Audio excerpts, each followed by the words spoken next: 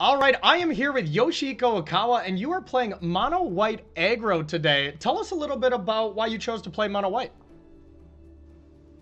Um, I and Resato choose the Mono White decks because this deck uh, is very good against uh, decks and also um, so-so against Mono Green.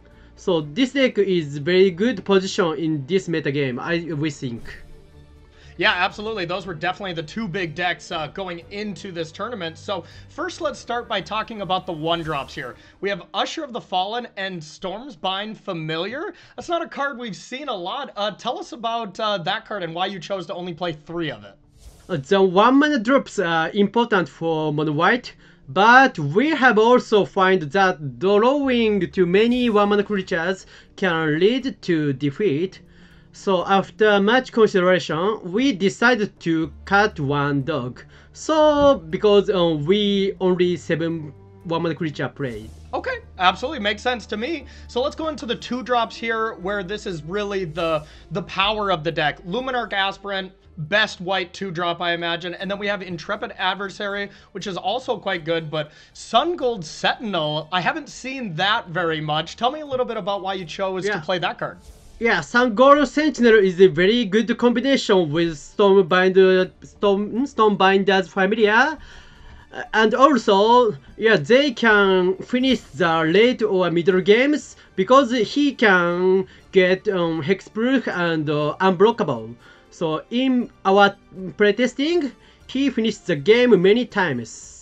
Yeah, it doesn't really matter if they have a lot of blockers. Just get on through. I like that one a lot. So, all right, let's get to uh, our next slide here where we have kind of the, the heavy hitters of the deck. And that is Adeline, Reidane, and then Elite Spellbinders. There is a ton of very good um, white three drops to be able to be played. What made you choose on these three creatures? Normally, um, Brutal Cathar is played in mono white but we thought that Izzet decks, uh, Izzet Dragons, and Izzet Tanks would be the top meta, game, top meta at the Worlds.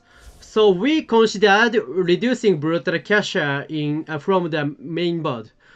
So we decided to use uh, more Adeline and Reidane which are strong against Izzet decks. Yeah, makes sense to me. Stop those Alrund's Epiphany at, at all costs. I like it. So let's head to our last slide here where we have the, the removal here. We have Portable Hole and Fateful Absence as well as Maul of the Skyclave.